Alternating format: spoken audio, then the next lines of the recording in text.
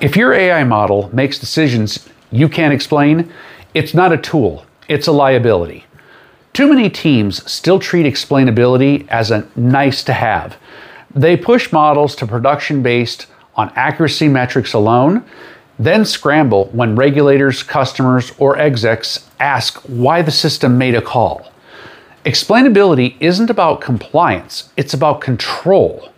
It's the difference between spotting bias before it hits production versus defending it in a boardroom.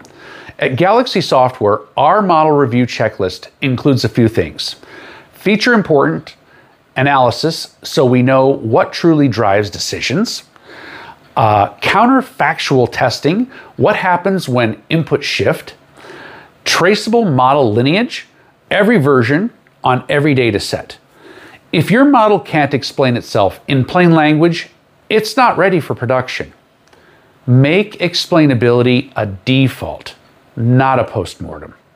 If you're curious how to bake it into your review flow, comment checklist or DM me. See ya.